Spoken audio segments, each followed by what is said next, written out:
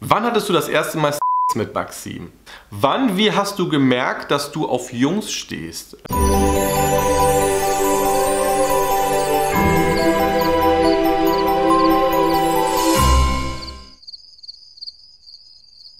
Leute, was geht ab? Herzlich willkommen zurück zu einem neuen Video auf meinem Kanal. Ich bin Danny und freue mich, dass du wieder eingeschaltet hast. Und heute haben wir etwas, was ich ganz lange nicht mehr gemacht habe, nämlich ein Q&A-Video, was ich auf meinem Kanal veröffentliche, um mit euch über eure Fragen zu sprechen und vor allen Dingen die Fragen, die ihr an mich habt. Ähm, ich habe mich, weiß auch nicht, warum wir das so lange nicht mehr gemacht haben. Es waren jetzt immer so viele verschiedene Videoideen.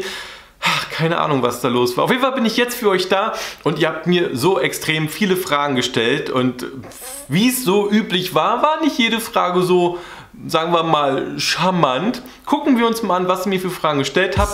Bleibt auf jeden Fall dran, schaut euch das Video an und ich wünsche euch ganz viel Spaß.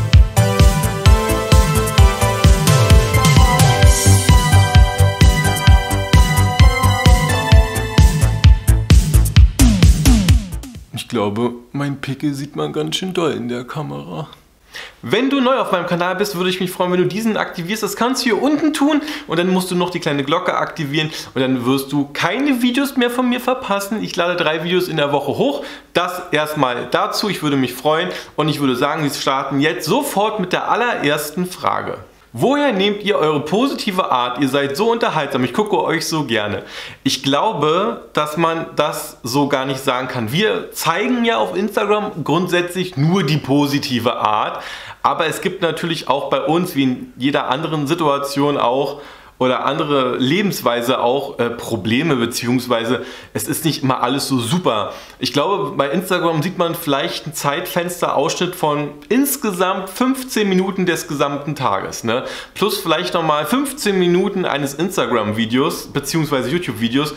Und ich glaube, man zeigt natürlich denn auch nicht unbedingt traurige Dinge oder teilt schlimme Dinge. Ich erinnere mich noch, als damals meine ähm, eine Katze verstorben ist, habe ich dazu auch ein Video gemacht, aber nicht, hey Leute, Leute, ihr könnt euch nicht vorstellen, was passiert ist, sondern es war ein sehr, sehr trauriges Video, wo ich auch die eine oder andere Träne verloren habe. Also ja, unser Content ist schon sehr positiv und unterhaltsam, aber halt auch nicht alles, beziehungsweise zeigen wir halt einfach auch nicht alles. Ne? Und ich glaube, auch viele Zuschauer wollen auch gar nicht immer unbedingt die schlechten Sachen sehen. Was ist dein Lieblingsnachtisch? Äh, ich glaube, ganz klassisch Pudding. Die Frage kann ich ganz schnell beantworten. Wann, wie hast du gemerkt, dass du auf Jungs stehst? Ähm, ja, ich glaube, ich, es gibt ganz, ganz viele Videos zu dieser ganzen LGBTQ-Plus-Serie äh, von mir, wo ich halt irgendwie immer was dazu sage. Und ich habe auch damals gesagt, dass ich das schon sehr, sehr früh und sehr, sehr schnell gemerkt habe für mich, aber nicht unbedingt wusste, was das bedeutet. Also ich wusste zwar, dass ich mich zu dem anderen Geschlecht hingezogen gefühlt habe, aber ich konnte das nicht so für mich einordnen. Ich habe es halt nicht verstanden. Ich habe es wirklich erst später gemerkt, ich würde so sagen mit 15, 16, wo ich so genau wusste, ah okay Danny, jetzt, äh, das ist es. Ja, aber dass ich halt mich von dem anderen Geschlecht angezogen gefühlt habe, das war schon ganz früh. Ich weiß es nicht, mit 9, 10, auf jeden Fall extrem früh.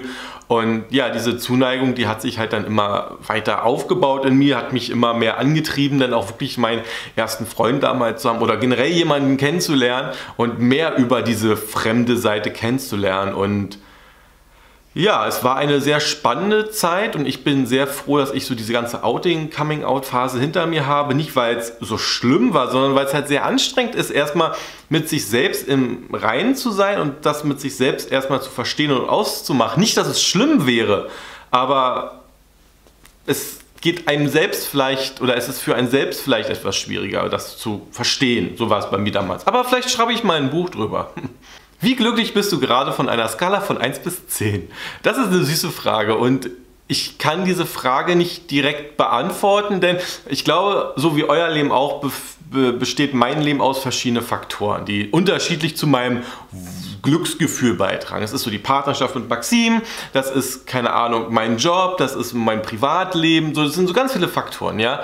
Und ich würde sagen, würde man mich fragen, wie es mir aktuell in meinem Job geht, dann würde ich ganz offen sagen, von einer Skala von 1 bis 10, 1 ist schlecht, 10 ist super, bin ich Tatsache bei einer 3. Ich bin aktuell beruflich sehr, sehr unzufrieden und das schlägt sich natürlich auch bei mir aus auf gewisse andere Bereiche. Ähm, und das ist nicht so super. Mit Maxim ist alles schön, da bin ich glücklich und eine Partnerschaft läuft nie perfekt. Das, das kann gar nicht sein. Deswegen könnte ich hier auch niemals eine 10 geben, sondern würde sagen eine, eine 9. Bin aber total zufrieden, wie gesagt. Dennoch, eine Partnerschaft muss sich oder kann sich immer weiter ausbauen. Und ich glaube, bei mir ist einfach das Problem, ich arbeite einfach zu viel. Es kommt hintenrum nichts anderes raus als Stress. Und ja, das sind so Sachen, ich glaube, die belasten auch eine Partnerschaft. Ja, und gesundheitlich ist bei mir halt auch so ein Thema immer so ein bisschen, wo ich sage, es ist eine 6. Also allem zusammen würde ich sagen, eine 7 vielleicht. Die Arbeit reißt es halt rein. Aber so kann ich das halt am leichtesten erklären. Und ich glaube, wir alle steckten ja schon mal in einer Lebenssituation, wo es mit der Arbeit einfach nicht so cool war. Und ähm, wenn ich eins gelernt habe, ist es, dass man nicht die anderen Menschen verändern kann. Entweder stelle ich mich auf meinen Job ein und äh, lasse mich auf die Menschen dort ein, beziehungsweise auf die Arbeitsanweisungen ein, oder halt ich wechsle meinen Job. Ne? Es ist ja kein Gefängnis. Gibt es den Plan, dass ihr zusammen in dein geerbtes Haus zieht? Äh, ja klar, also das steht im Raum, das wurde schon besprochen und ich habe davon ja wirklich eigentlich noch gar nichts gezeigt, weil es einfach noch ein riesengroßes Planungsproblem darstellt. Das Haus ist bezugsfertig letztendlich, wenn man ähm, es entrümpelt hat. Und es ist jetzt kein, kein Messi-Labor oder so, ja. Es ist einfach nur ein Haus, was ich glaube, 60 Jahre lang von meinen Großeltern bewohnt wurde, was einfach vollgerümpelt ist und das muss halt ausgeräumt werden, das muss halt renoviert werden. Und da sind wir jetzt schon bei dem Punkt, was halt auch stressig ist, wenn man halt einen, einen Job hat, wo man wirklich extrem viel drin arbeitet, plus YouTube, plus meine Bücher, da komme ich halt auf einen ganz, ganz großen Arbeitsstundenfaktor, wo halt einfach nicht mal eine Stunde Zeit ist, um mal schnell ein Haus zu entrümpeln. Und das schiebt sich halt alles so ein bisschen nach hinten. Ich denke mal, ähm, aktuell durch die ganze Kontaktverbotsgeschichte kann ich eh nicht sehr viel machen. Und deswegen zögert sich das hinaus. Ähm, mein Weg, denke ich mal, wird ins Haus führen. Ich kann mir vorstellen, oder was heißt, ich kann mir vorstellen, ich habe mit Maxim darüber gesprochen, er wird vielleicht mitziehen. Ähm, nicht sofort, eventuell vielleicht später. Das sind aber alles so Sachen, über die reden wir zwar, aber das steht noch gar nicht so sehr zur Debatte, weil letztendlich habe ich ja auch noch meine eigene Wohnung und ich glaube, erst wenn ich diese Wohnung gekündigt habe und definitiv rübergehe, und es ist ja quasi um die Ecke, äh, wird Maxim nachkommen. Und das ist halt auch schon die nächste Frage, wann zieht ihr zusammen und wann habt ihr das Pendeln satt? Und äh, das wird sich ähm, darauf hinauslaufen. Also es wird so in diese Richtung gehen, aber es gibt da kein, kein Zeitfenster und ich glaube, es musste auch gar kein Zeitfenster dafür geben, denn also wir sind jetzt anderthalb Jahre zusammen. Das ist ein, eine schöne Zeit und das ist auch eine Zeit, wo man schon auch, äh, finde ich persönlich, schon so ein bisschen sehen kann, läuft es gut, läuft es nicht gut und kann man weiter in die Zukunft planen. Ja? Und das können wir. Und dementsprechend bin ich auch sehr optimistisch und zuversichtlich, dass es auch in diese Richtung gehen wird, aber auch nichts überstürzt. Das macht keinen Sinn. Warum soll man das überstürzen? Weil es ändert sich ja nichts anderes. Wie kommst du mit dem Intervallfasten aktuell zurecht? Ich muss ehrlich sagen, sehr gut. Ich kann mir noch gar nicht so vorstellen, dass das wirklich funktioniert. Und nächste Woche kommt da auch ein Video zu, zu dieser ganzen Intervallfasten-Geschichte und was es mit mir gemacht hat und welche Erfolge ich schon habe. Ähm, aber ich komme gut zurecht. Ich finde dieses bis 13 Uhr nichts essen und dann Mittag zu essen, Abendbrot zu essen und dann wieder bis 13 Uhr nichts zu essen, total super. Das ist so viel besser als alles, was ich bisher gemacht habe. Ähm, also ja, ich bin sehr zufrieden. Warum zeigst du dich nie ganz? Weil das Kamerafenster nun mal so ist. Ich, ich habe keine andere Formatsgeschichte und wenn man sich unsere Vlogs anschaut oder keine Ahnung, dann sieht man mich ja auch ganz, aber ich kann es ja nicht verändern, weil die Kamera nun mal diesen Winkel so hat. Welcher war der zweitschlechteste Film, den du ihr je gesehen habt? Ähm, das kann ich auch gar nicht so sagen. Ich glaube, der schlechteste, der hat, den hatten wir ja letztens in der Instagram-Story, der wirklich sehr, sehr schlecht war. Das war äh, die Farbe. Hier liegt er ja. Die Farbe aus dem All. Äh, das war wirklich ein sehr schlechter Film. Und ich glaube, welchen Film ich auch richtig schlecht fand, war Batman vs. Superman. Für die, die es noch nicht gesehen haben, spoiler ich jetzt nicht. Und für die, die es gesehen haben, ich meinte das Ende. Also, das war so schlecht. So schlecht. Was wolltest du schon immer mal in deinem Leben machen? Zum Beispiel aus dem Flugzeug springen. Das auf jeden Fall nicht. Äh, ich möchte nicht aus einem Flugzeug springen, von einer Brücke springen oder von einem Hochhaus runterfallen. Das sind so Sachen, die möchte ich gar nicht und ich will da auch keinen Jochen Schweizer Gutschein haben oder so. Äh, für die Freunde, die das Video vielleicht von mir gerade sehen. Nein.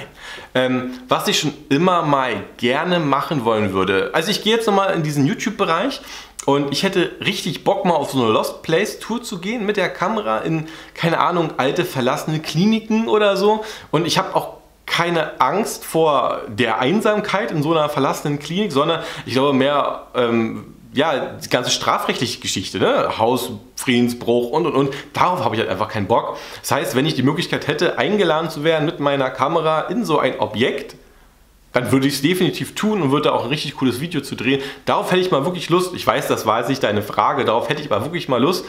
Und ich habe eigentlich gar nicht so große Wünsche. Ich lebe sehr bescheiden. Man glaubt das gar nicht so, ja. Aber ich brauche das gar nicht. Ich habe keine, ich aktuell jedenfalls keinen großen Wunsch. Ich würde ganz gerne mal Ford Mustang fahren. Also mit einem Ford Mustang würde ich ganz gerne mal fahren. Aber ich würde nicht unbedingt einen haben wollen, weil die so einfach so eine Spritschleudern sind. Aber ich würde ihn gern fahren. Was würdest du kaufen, wenn du alles Geld der Welt hättest? Puh, was würde ich kaufen? Ich weiß es nicht. Es ist auch so doof, ne? Ich könnte mir wirklich vorstellen, dass ich gerne ein Schiff hätte, also ein, ein Boot. So, das wäre schon cool. Aber auch das würde ich mir nicht kaufen. Ich glaube, ich würde es mir borgen, um dann zwei Wochen lang auf dem Meer rumzuschippern und dann wäre es mir auch so langweilig. Ich kann das gar nicht so sagen. Ich stelle mir diese Frage nicht. Ich finde, es schwierig, meine Zeit zu nutzen, um mir Sachen zu überlegen, die ich gerne hätte und was ich damit gerne machen würde. Ich glaube, ich arbeite einfach generell, um etwas mir leisten zu können, was ich dann in dem Moment haben möchte. So ganz so formuliert, ja. Aber ja, wenn ich alles Geld der Welt hätte. Ich brauche gar nicht viel Geld, um meinen größten Wunsch zu erfüllen. Ich brauche eigentlich nur so um die 800 bis 1000 Euro, um mir einen Hund zu kaufen. Äh, das ist so mein größter Lebenswunsch. Ja, wenn man mich fragt, was mein Lebenswunsch ist, wäre ich gerne Hundebesitzer eines Neufundländers. Aber das ist ein Wunsch, den kann ich mir jederzeit erfüllen. Nur ich mache es aktuell nicht, weil A, habe ich andere Haustiere und B, äh, gibt es so mein, mein Umkreis aktuell einfach gar nicht her. Ich habe aktuell nicht die Möglichkeit, mich auch noch um einen Hund zu kümmern, wenn ich jetzt, keine Ahnung, zum Beispiel arbeite. Versteht ihr? Ähm, na klar kann der Hund dann bei Maxim sein und, und, und, und. Und ich weiß auch, dass definitiv der Tag kommen wird, wo es Hunde-Vlogs von mir geben wird. Aber jetzt aktuell, derzeit habe ich diese Zeit gar nicht. Vielleicht sieht es in zwei Monaten ganz anders aus. Dann habe ich eine Frage auf Telonym gestellt bekommen. Wie hast du Maxims Handynummer bekommen? Ich habe sie von ihm bekommen. Also ich habe ja Maxim über einen Zuschauer kennengelernt und der Zuschauer hat, also ihr kennt ja unsere Dating-Geschichte, ich kann euch das Video nochmal verlinken. Auf jeden Fall ging es halt darum, dass ein Zuschauer von Maxim ein Treffen zwischen Maxim und mir organisieren wollte, weil wir miteinander drehen sollten. Und ich selber entspreche ja nicht Maxims Content und Maxim hat damals nicht unbedingt zu meinem Content gepasst und dennoch haben wir uns aber ähm, gedatet, kennengelernt und äh, da habe ich seine Handynummer bekommen. Also ich habe seine Handynummer schon vorher bekommen, weil wir miteinander geschrieben haben über den Kontakt. So müsst ihr euch das vorstellen. Aber das war so sehr unkompliziert. So. Ich glaube, es ist eh unkomplizierter, wenn man dasselbe macht. Also ich habe ja zu dem Zeitpunkt auch YouTube gemacht. Zwar noch viel, viel kleiner als heute, aber das baut sich ja auch auf. Maxim hat damals YouTube gemacht, auch kleiner als heute. Und ich glaube, da ist es nochmal hat man weniger eine Hemmschwelle, die Handynummer einem Kollegen zu geben, ähm, als jetzt jemand, den man überhaupt gar nicht kennt. So könnte ich mir das jetzt erklären. So habe ich die Handynummer von Maxim bekommen äh, und so haben wir uns dann, ja, haben wir uns dann verabredet, getroffen. Ja. Und die nächste Frage, die ich bekommen habe, war auch über Telonym. Wann hattest du das erste Mal mit Maxim? Auch so eine Frage, wo ich mir so auch gedacht habe, ja, das möchte man gern wissen und ich weiß gar nicht, ob ich das schon mal so beantwortet habe. Aber ähm, also wir haben jetzt keine zehn Dates gewartet. Also das werden ja viele von euch auch nicht tun, oder? Also was ich nicht cool finde, das ist so meine persönliche Geschichte, wenn man jemanden kennenlernt und schon im Kennenlernen merkt, okay, ich empfinde was irgendwie, ich fühle was, das ist, könnte was Großes werden, ne? so, so, so diese ja, Liebe auf dem ersten Blick oder die erste chemische Reaktion, da weiß der Geier was. Äh, die war ja bei ihm ganz, ganz sofort da am Anfang. Und ich persönlich finde es sehr, sehr traurig, wenn man eine Kennenlerngeschichte hat, die damit beginnt, dass man gemeinsam in einem Bett liegt. Versteht ihr, was ich meine? Das, das nimmt so ein bisschen, weiß ich nicht, nicht die Spannung raus, ja, aber das, das nimmt den Zauber aus dieser Geschichte. Und deswegen habe ich gar kein Problem für mich selbst auch äh, zu sagen, okay, dann treffen wir uns noch mal zwei, drei, vier Mal und dann schauen wir, wo die Reise hingeht. So, ja. und, und wir sind da, glaube ich, sehr normal gewesen. Und wir haben uns ja auch nicht bei unserem ersten Date oder im zweiten Date in der Wohnung des jeweils anderen getroffen. Das heißt, das macht die Sache ja auch nochmal komplizierter und das war ja auch gar nicht der Fokus von unserem Kennenlernen. Wir haben uns ähm, kennengelernt und haben halt gemerkt, dass wir füreinander uns ja, interessieren, dass wir uns zueinander hingefühlt äh, hingezogen fühlen. Und dann ist es dann auch passiert. Logisch. Freunde, das Video ist jetzt fast zu Ende und ich äh, freue mich auf jeden Fall, dass du eingeschaltet hast. Wenn du noch mehr Videos von mir sehen möchtest, beziehungsweise auch wieder von Maxim, würde ich mich freuen, wenn du diesem Video einen Like da lässt und wenn du natürlich meinen Kanal abonnierst. Ansonsten schaut gerne mal in meinem Buchshop vorbei, der ist unter diesem Video verlinkt. Aktuell ist es auch bei mir so, dass durch die ja, Umstände, die uns alle betreffen, auch bei mir das Buchgeschäft etwas schlechter läuft, was daran liegt, dass Amazon leider sehr, sehr lange Lieferzeiten aktuell hat. Da sind bei mir Tatsache 10 bis 14 Tage.